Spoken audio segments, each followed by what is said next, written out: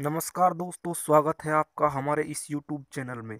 दोस्तों, यदि आपने हमारे चैनल को अभी तक सब्सक्राइब नहीं किया है तो प्लीज़ इसे सब्सक्राइब कर लीजिए।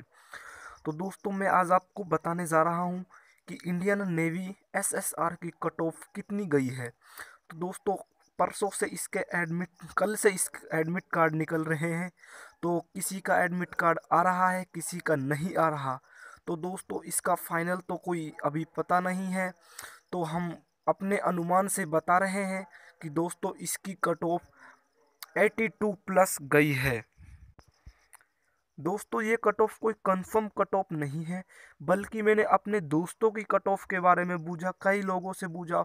उससे मैंने अनुमान लगाकर इसका आइडिया लगाया है कि कट ऑफ़ इतनी गई है। तो बयासी प्लस वाले अपना एडमिट कार्ड प्राप्त कर सकते हैं। मेरे हिसाब से ये बयासी प्लस ही गई है।